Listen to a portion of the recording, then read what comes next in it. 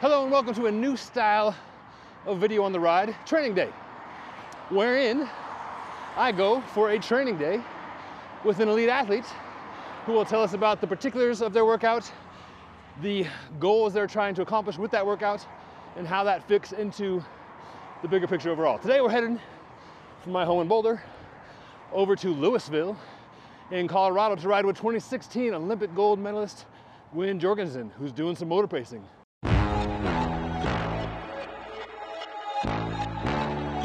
Today's a moto session. It's uh, 12 times, basically four minutes, where I'll do like a 10 second attack, sit on the motorbike for 30 seconds, come off the motorbike for 30 seconds, sit on for 30 seconds, come off for 20 seconds, and then two minutes on the motorbike again. So basically doing those efforts when I'm coming off the motorbike and uh, hopefully today will feel okay. It never feels great, right? never feels great. Now, I'm interested that you're doing attacks because being an ignorant person, I think of triathlon as like a steady state thing. I realize like Olympic tri is a little bit different, but you know, how often are you doing these you know, more intense efforts in your regular training? Well, this is why I love the triathlons I do because it's all draft legal and it's on circuits often, so it's a lot of coming out of U-turns, um, so a lot of attacks. Um, and so I really got to work on that speed, and I find it way less boring than just like a time trial. So yeah, um, I do this sort of workout a lot, and it's something that I definitely am continually improving on. All right, I will try to hang on for dear life. Oh, you're gonna be fine. Thanks for letting me tag along. You'll have to you'll pass me at certain points, maybe. What's the secret snack? The secret training snack. Secret one for, for Gwen. The tamale. Holy tamale. but it's loaded with carbs, and it's just, I mean, it's savory, so it's a break from all the sweet stuff. I mean, I'll. They need to sponsor me because I I love them. I absolutely love them.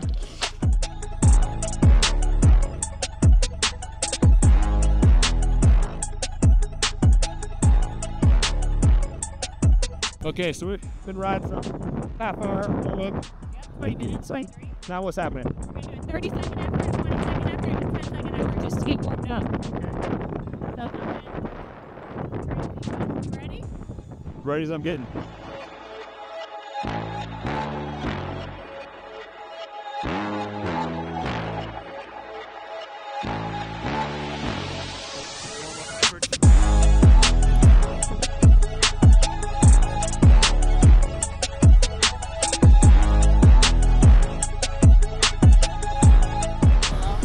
Second, 20 second, now what? 10. 10 second sprint.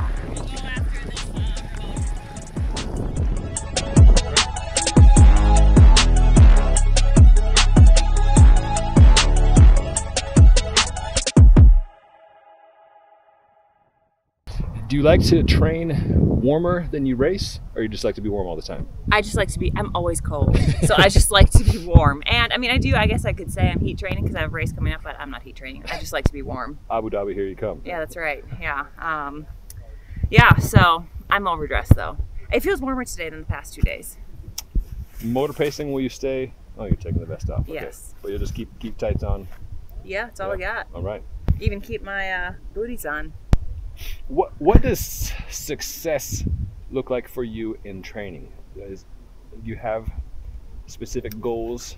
that That's a great with? Question. Like if I you're going for like a particular like FTP number or critical power number, or is it more of a process following what your coach has laid out and what you've bought into? I I think there's both, right? Like the the most important thing is to stay present, stay in the moment, and execute the process correctly. Uh, you know, there's also outcome based goals, right? Like on my sprints, I want to be above 10 watts per kg, but I won't be looking at that. I send this off to like uh, have like a bike data analysis, and then he kind of sends it to my coach Jamie. Uh, but yeah, this is more just I won't even look at my power meter. I'm just focusing on staying in it and focusing on correct form. Um, I have a new fit, so I'm trying to stay low. Uh, things like that. There's a intermediary between you and your coach. Well, no. Okay. There's just somebody who like I send my file, so like I won't lap this, Yeah. for instance, and so I'll send my file to somebody who can. He's really good at like extracting all the data, Uh-huh. and then he puts it into like a very easily to see form, you know, with like pie charts and stuff like that, and then my coach can just quickly glance at it and know. Aha. Yeah. So I don't know. Do you co- call that an inter- So intermediate? I, am calling your coach spoiled if he's got somebody like that teeing up for him. That's like he's a pro Yeah, coach, Adam- you're a pro athlete. I like this. Yeah, Adam Radford. So yeah, he's uh, he's the one that does my my bike stuff, my bike data. How long are we behind the moto today? So this will be a total of. So I will lap it once, so I know, but it's going to be four times or twelve times four minutes, which is forty-eight minutes. Forty-eight minutes. Okay. Yep. I'll eat some Scooby snacks. Get ready. Yes, yes. 30 seconds. Behind you, and then thirty seconds.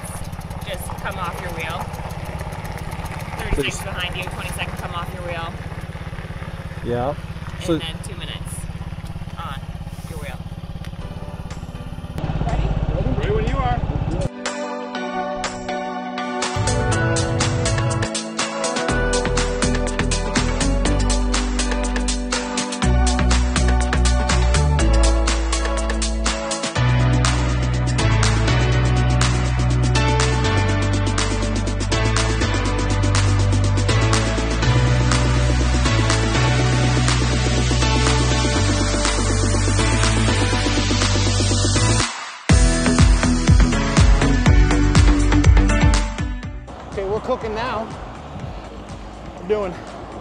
you know, 27, 28 miles per hour on the flats, down to 20 over these little rises.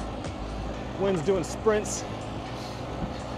Out into the wind, and then we'll jump back on the moto to recover, but recover at speed, high cadence like this.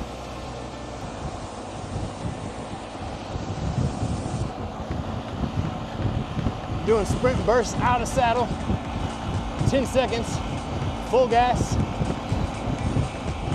and then back on the wheel, trying to recover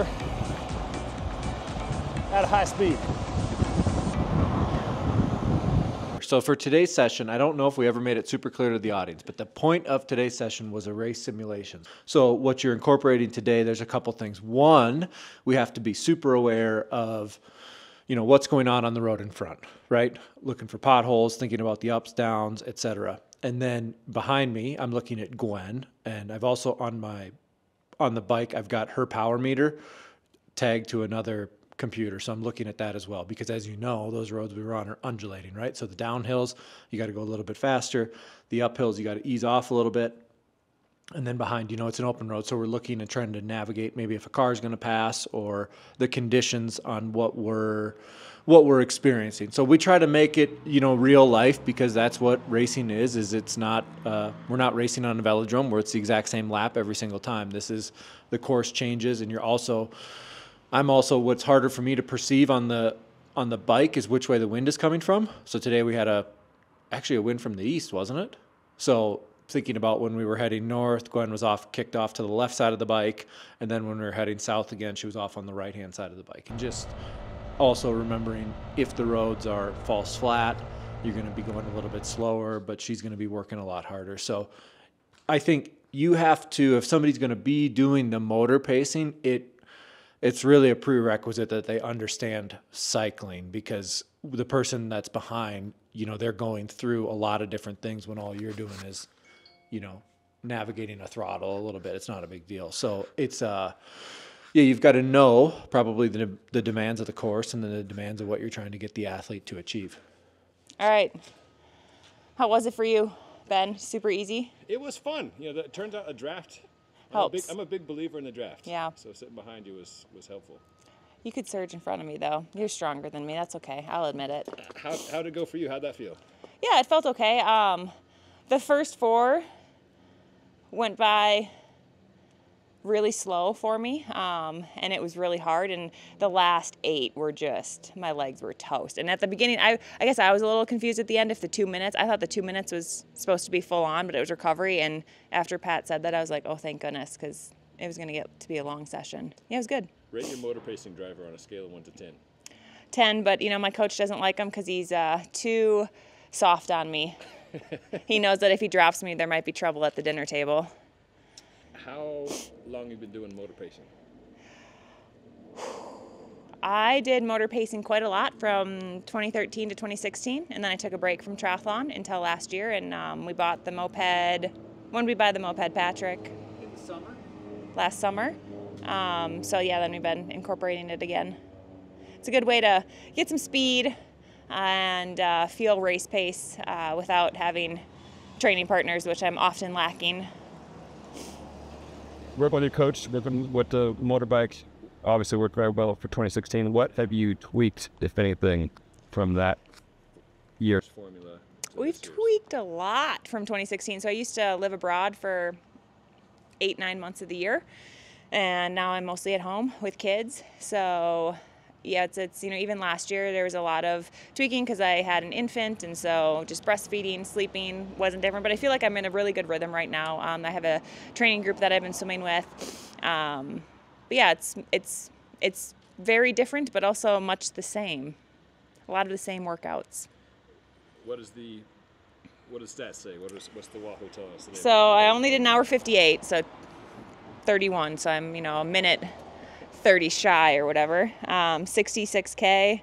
So we averaged 33. Our max speed was 60K an hour. I do everything in kilometers per hour. Is that going to be okay for your audience? Kilometers good My, yeah. sounds faster and longer is why i like it Uh, let's see. My max power was 641, and my average was 166. My normalized power was 194.